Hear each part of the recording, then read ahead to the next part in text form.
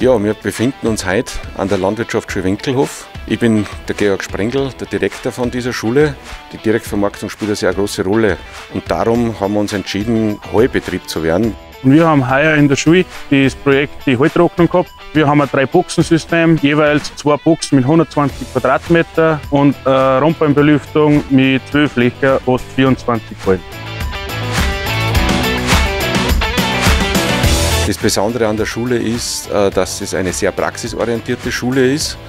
Und äh, für, diese, für diesen Praxisunterricht brauchen wir Lehrwerkstätten. Wir wirtschaften auch seit äh, über zehn Jahren biologisch und jetzt haben wir immer Bio-Heu-Betrieb und das ist natürlich schon ein sehr hoher Standard, den wir da erreichen. Die größte Herausforderung war bei uns, dass wir ein Drei-Boxen-System in unser bestehendes Gebäude einbringen. Und die Firma Lasco hat uns da sehr unterstützt, weil mit ihrer Planung sind wir sehr zufrieden. Wir können mit einem Lüfter und mit einem Entfeuchter das alles fahren und es hat die Zusammenarbeit super funktioniert.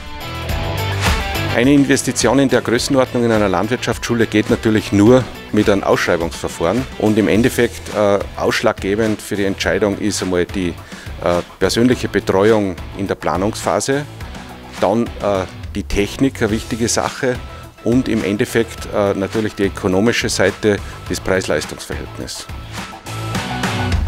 Die Anlage war in der heutigen Saison im Einsatz und äh, wir sind mit dem Ergebnis sehr zufrieden.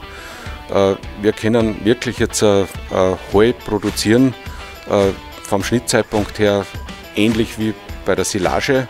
Somit haben wir die Möglichkeit, dass wir wirklich ein sehr hochwertiges Futter produzieren.